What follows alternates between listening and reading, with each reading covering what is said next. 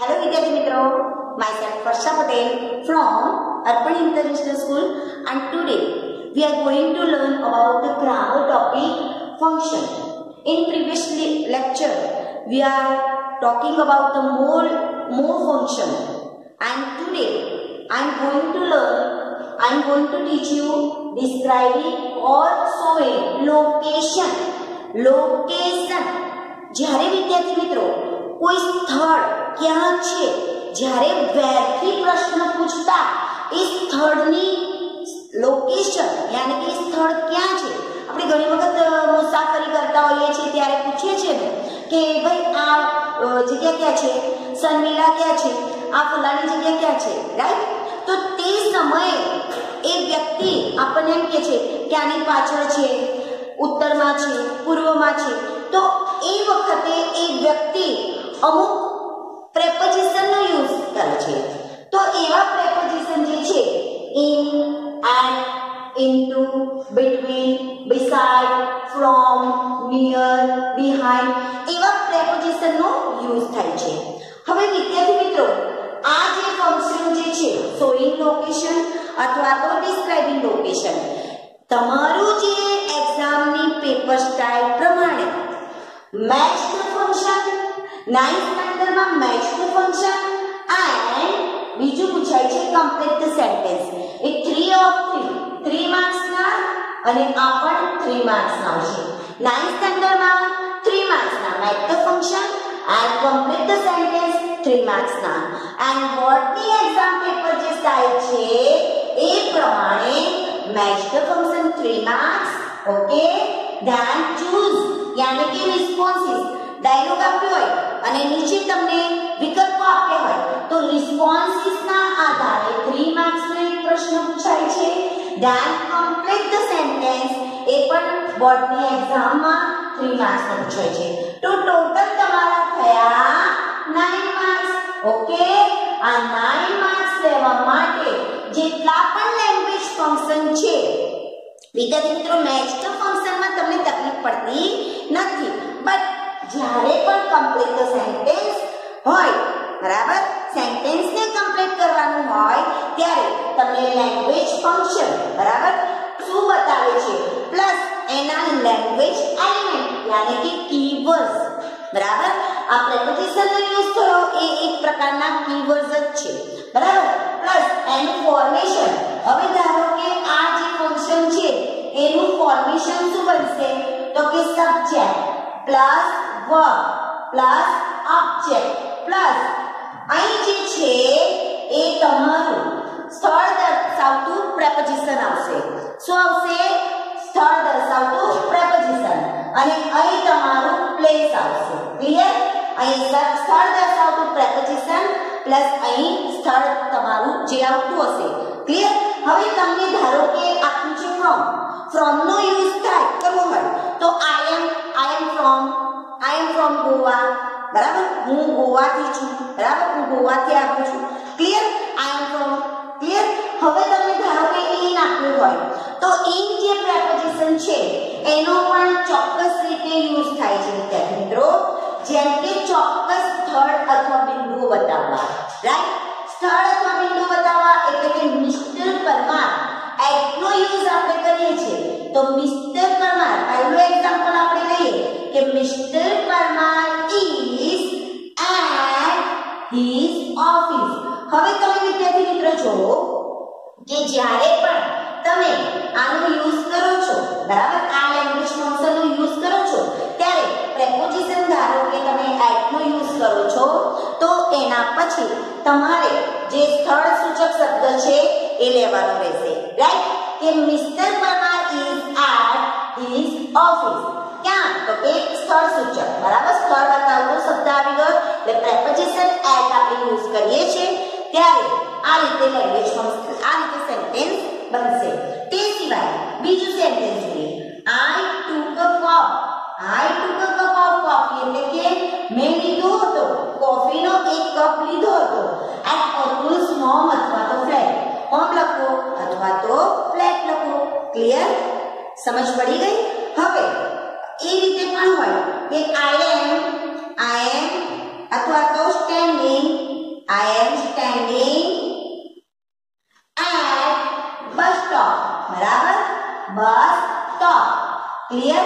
આ રીતે પણ તમે સેન્ટેન્સ બનાવી શકો છો. જે રીતે મેક્સ્ડ ફંક્શન આપ્યું હોય તો તમારે ત્યારે આ પ્રેપોઝિશન છે સૂચક શબ્દો જે આપ્યા હોય તે તમારે લેવાના રહેશે. બરાબર? કોઈ પણ સૂચક ધારો કે નિયરનો યુઝ થયો હોય તો the dog is near the cat બરાબર?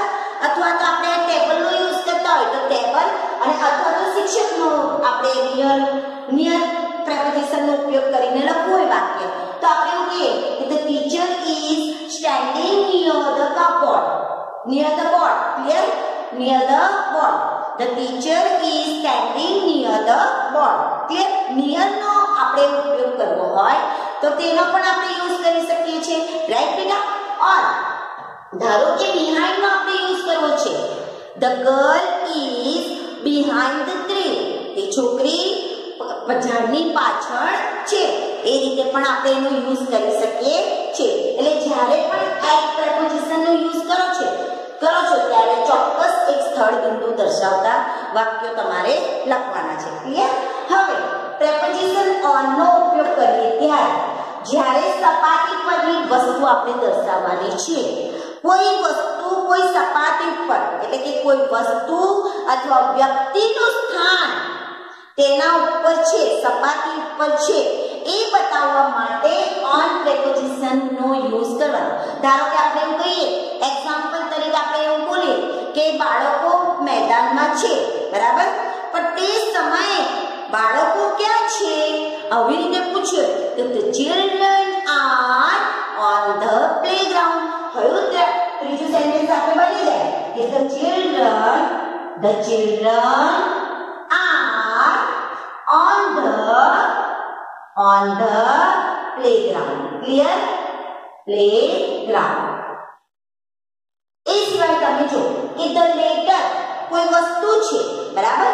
કોઈ થિંગ છે, તો the letter is on my desk ઓનનો use થયો, એટલે કોઈ સપાટી ઉપર કોઈ વસ્તુ છે, એ બતાવવા માટે ઓન પ્રેપોઝિશન નો યુઝ તમે કરશો. એ એટ એટલે સ્થળ ક્યાં છે? સ્થળનો ચોક્કસ નિર્દેશ કરવા માટે આપણે એટ નો યુઝ કરવાનો.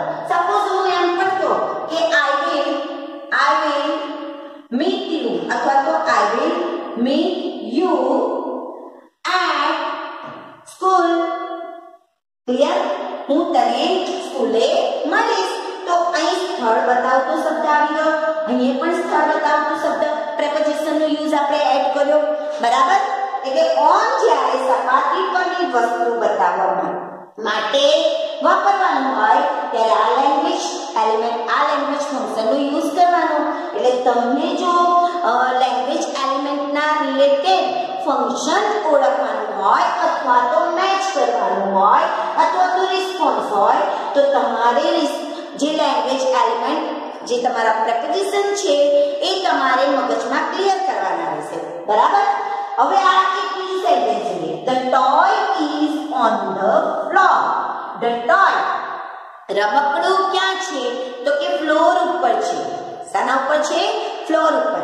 ક્લિયર હવે એક બીજું સેન્ટેન્સ આપીએ કે ધ ચિલ્ડ્રન અથવા તો the boy the boy are on the bench ક્યાં છે? તો કે બેન્ચ ઉપર છે. ક્લિયર સમજ પડી? અથવા તો આપણે એવી રીતે લખીએ કે the boys are going on going on શાના ઉપર ધ હોર્સિસ બરાબર? તેઓ જઈ રહ્યા છે હોર્સિસ ઉપર. ક્લિયર તમે ગમે તે રીતે સેન્ટેન્સ લખી શકો છો. પણ ઓનનો યુઝ કરીને તમે વાહનનો, સાધનનો યુઝ કરશો નહીં. બાય યુઝ થાય છે તે વખતે. બરાબર? બાય પ્રપોઝિશન પણ વપરાય પણ સ્થળ ક્યાં છે? કેવના ઉપર, બરાબર? ઓન ધ બેન્ચ તો એ વસ્તુ અથવા તો વ્યક્તિનું પ્રોપર સ્થાન લોકેશન એટલે કે સ્થાન, બરાબર? એટલે કે સ્પેસિફાય અથવા એક્સપ્રેસિંગ અથવા તો ડિસ્ક્રાઇબિંગ અથવા તો શોઈંગ લોકેશન હોય, ત્યારે તમારે યોગ્ય પ્રપોઝિશનનો યુઝ કરવાનો. ઓકે વિદ્યાર્થી મિત્રો, આપણે બીજા કેટલાક સેન્ટેન્સની ચર્ચા કરીએ કે કોઈ જાહેર સ્થળો હોય કે દુકાનો માટે પણ આપણે આ લેંગ્વેજ ફંક્શન શોઈંગ લોકેશનનો યુઝ કરી શકીએ છીએ, બરાબર? સપોઝ આઈ કોલેજ તમને કોઈ એવું પૂછે કે તું ક્યાં ભણી હતી, બરાબર? તો કે આઈ સ્ટડી એટ કોલેજ અથવા તો સ્કૂલ અથવા તો યુનિવર્સિટી હું સ્કૂલમાં અથવા તો કોલેજમાં ભણી હતી બરાબર અથવા તો તમને એવું પૂછે કે where where did you leave અરે વેર ડીડ યુ લીવ તો મેં ક્યાં રહેતા હતા તો તમે તે સમયે આ રીતે પણ લખી શકો છો કે I lived I lived at Juhu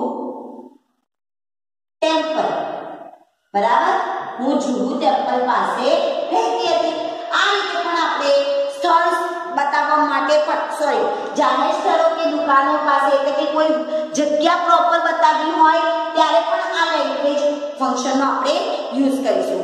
કોઈ ચોક્કસ એડ્રેસ પૂછવું હોય સપોઝ આપણે ક્યાંક ફરવા ગયા હોય અને કોઈનું ઘર પૂછતા હોય કે ક્યાં રહે છે, આ વ્યક્તિ ક્યાં રહે છે, તો ચોક્કસ એનું સ્થળ બતાવે ત્યારે પણ આપણે દાખલા તરીકે જોઈએ કે they live at seventy Rajendra park અથવા તો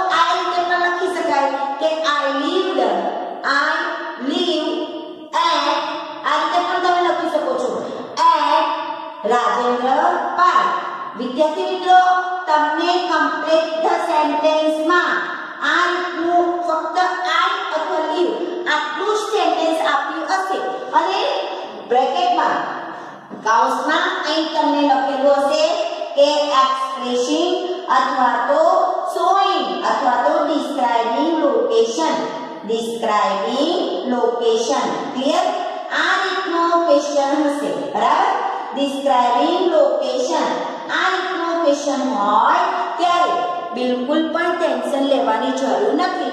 આના આધારે તમે કોઈ પણ સેન્ટેન્સ લખી શકો છો. બરાબર? આ લીવ બિહાઇન્ડ નો પણ યુઝ કરી શકો છો. નિયર નો પણ યુઝ કરી શકો છો.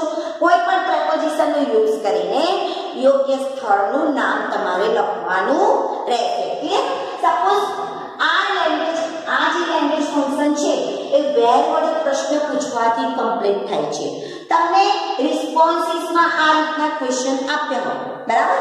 અને લખ્યું હોય કે ડિસ્ક્રાઇબિંગ લોકેશન તમને રિસ્પોન્સીસમાં જે પ્રશ્ન પૂછાય છે, એમાં તમને MCQ type A B C D આપી દીધા હશે, બરાબર?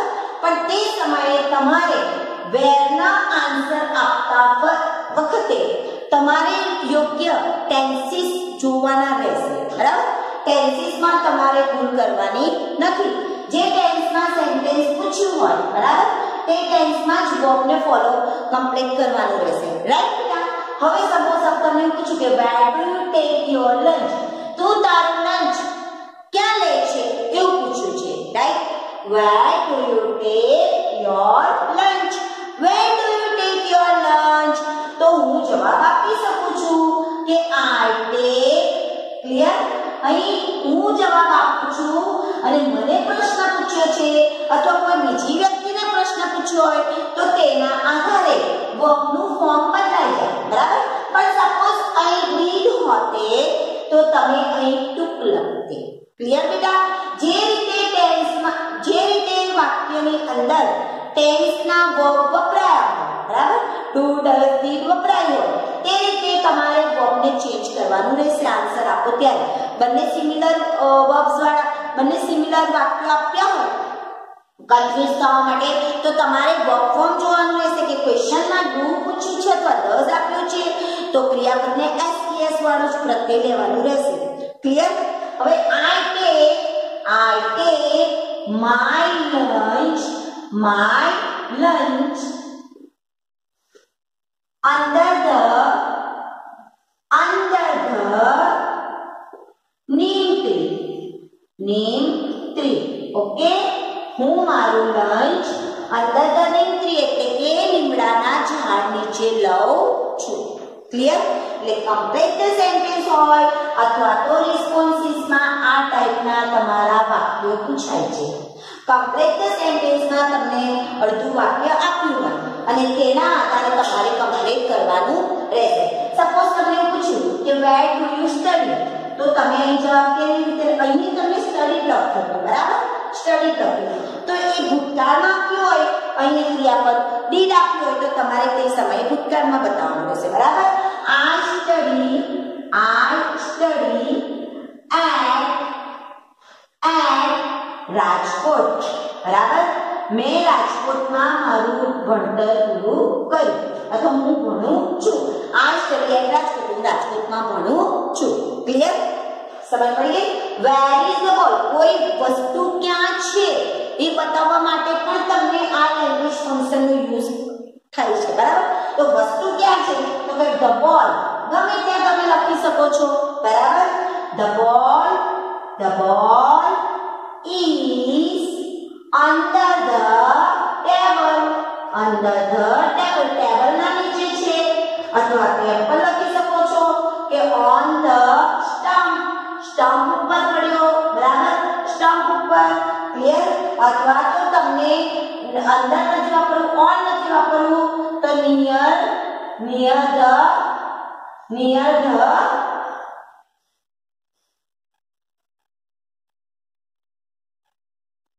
the road side બરાબર? ધ રોડ સાઈડ રોડ સાઈડની નજીક છે. ક્લિયર આ રીતે પણ તમે સેન્ટેન્સ બનાવી શકો છો. બરાબર? ધારો કે તમને એવું કે કે તમે ક્યાંથી આવ્યા છો? બરાબર? તમે ક્યાં રહો છો? તો તમે તે સમયે કઈ રીતે જવાબ આપશો? તો કે I am from Surat I am from Surat clear I am from Surat આ રીતે પણ તમે જવાબ આપી શકો છો, બરાબર? હું સુરતથી છું, બરાબર? આ રીતે પણ તમે આન્સર આપી શકો છો ક્લિયર અથવા તમને એવું પૂછે કે where did you where did the where is the Porbandar? Porbandar ક્યાં છે? તો તમે તે સ્થળને ક્યાં છે એ બતાવી શકો છો, બરાબર? The Porbandar the Porbandar. હું ગમે તે લખું છું, બરાબર? પોરબંદર અથવા અહેમદાબાદ તમે અમદાવાદ પણ લખી શકો છો the Ahmedabad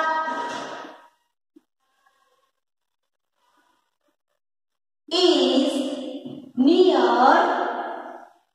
the Gandhinagar ગાંધીનગરની નજીક છે, બરાબર? આ રીતે પણ તમે સેન્ટેન્સ લખી શકો છો.